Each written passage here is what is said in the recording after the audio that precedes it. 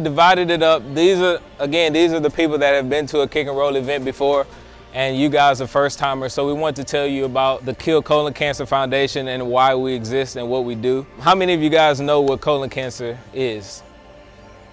What is it? Don't be scared. Shout out. Yeah, Cancer in your cancer. in- Right, right. Um, how many people have been affected by colon cancer? Whether it's your family, friends, anyone, you know anyone that's been affected? No, you do? Say it again. My grandfather?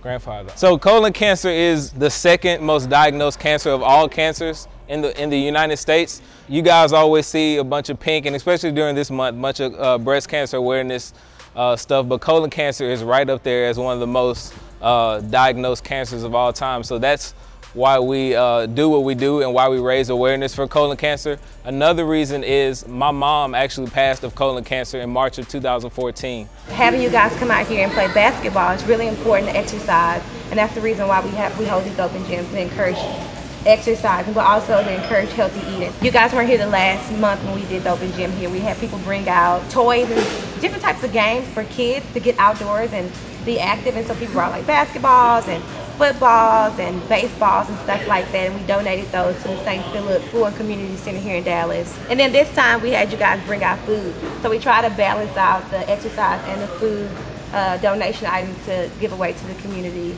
Definitely pay attention to kielcoloncancer.org because we have a lot of great things coming up in our attempt to eradicate colon cancer. So thank you guys.